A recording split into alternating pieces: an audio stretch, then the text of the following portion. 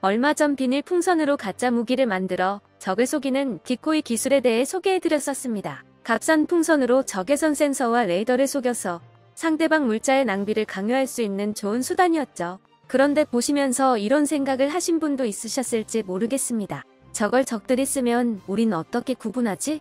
북한을 상대할 때 정도가 아니고서야 한국은 대부분의 가상 적국에 비해서 물자가 부족한 편이 될 것입니다. 물자의 낭비를 강요하는 디코이는 한국이 상대하기에도 마찬가지로 몹시 거슬릴 것이라는 이야기인데요. 한국은 이에 대해 어떤 대비를 하고 있을까요? 한국에는 다른 나라와는 달리 정교하게 위장한 디코이도 구분할 수 있는 신기술이 있습니다. 이 기술을 지상의 식별체계나 드론, 심지어는 위성에도 달 계획이라고 하죠. 특히 이 기술을 위성에 탑재하는 데 필수적으로 요구되는 내방사성 메모리 기술 또한 최근 개발해냈습니다. 이 기술은 비단 위성용이 아니라도 군사적인 활용 가능성이 무궁무진해서 더욱 각광받고 있습니다. 자세한 내용을 함께 알아보겠습니다.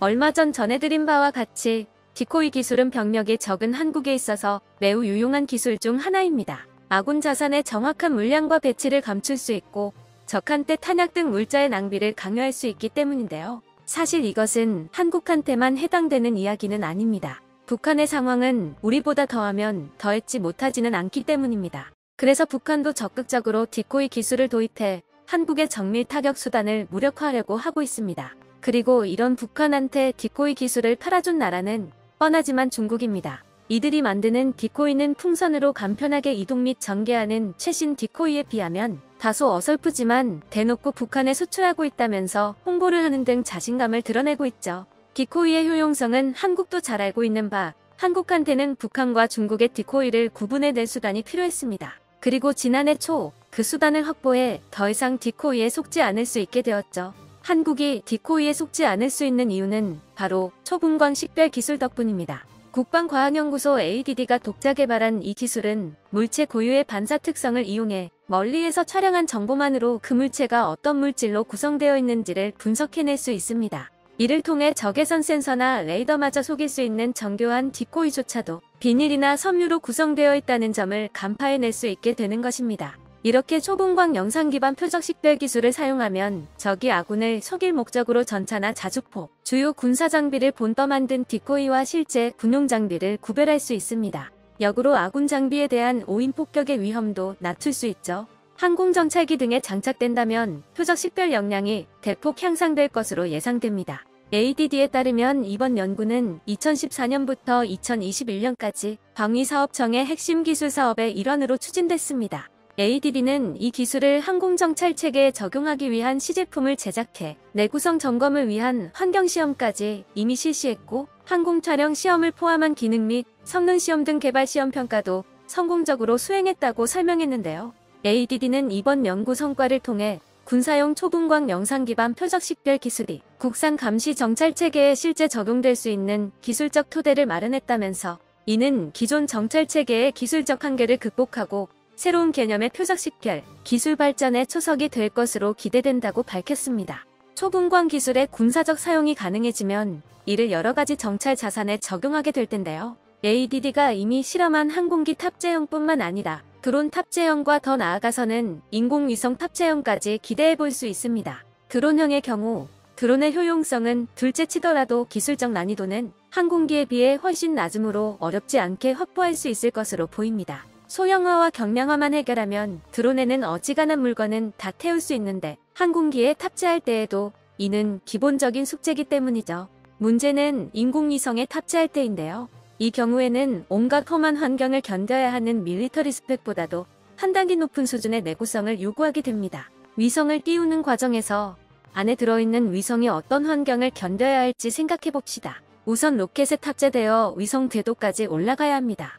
이 과정에서 지구 밖으로 나갈 수 있을 만큼의 엄청난 중력 가속도를 견뎌야만 하고 로켓 내외부로 가해지는 어마어마한 열도 버텨야 합니다. 이렇게 위성 궤도 위로 올라가고 나면 우주의 거친 환경을 견뎌야 하는데요. 우주 공간이 단순히 텅 빈 공간이 아니라는 것은 이제는 잘 알려진 사실이죠. 특히 위성 궤도가 통과하는 공간은 인간이 오랜 시간 활용해왔던 탓에 온갖 우주 쓰레기들이 어마어마한 속도로 지구를 공전하고 있습니다. 여기에 살짝이라도 부딪히면 구멍이 나거나 심하면 박살이 나서 사용 불가능한 상태가 될 수도 있죠. 그뿐만 아닙니다. 우주 공간에는 열을 전달해줄 매개체가 없다 보니 기본적으로 초저온 상태이고 태양이나 다른 천체에서 오는 우주 방사선을 막아줄 두꺼운 대기도 없으니 맨몸으로 방사선을 받아내야 합니다. 이 우주 방사선은 지구의 극지방의 오로라를 발생시키고 지표에 있는 일부 전자기기를 고장낼 수도 있을 만큼 의외로 강력한데요. 군사 자산으로 쓸 만큼 정교한 전자부품을 궤도상에 올려놓는 데 있어서 이런 방사선을 견디는 성능은 상당히 중요한 조건입니다. 군사 자산이 요구받는 가장 중요한 덕목 중 하나는 신뢰성. 언제 어느 상황에서라도 믿고 의존할 수 있을 만큼의 일정한 성능을 발휘해줘야 하죠. 하지만 우주 방사선 때문에 우주에서는 이런 신뢰성을 기대하기가 몹시 어렵습니다. 한국군 수준에는 도달하지 못했으나 군사용 초분광 기술은 한국 외에도 보유한 국가들이 있는데요. 그 나라들이 정작 이것을 위성 궤도에다 올리지 못하는 데에는 그럴 만한 이유가 있는 것입니다. 한국은 이를 극복하기 위해 또 다른 신기술을 개발했습니다.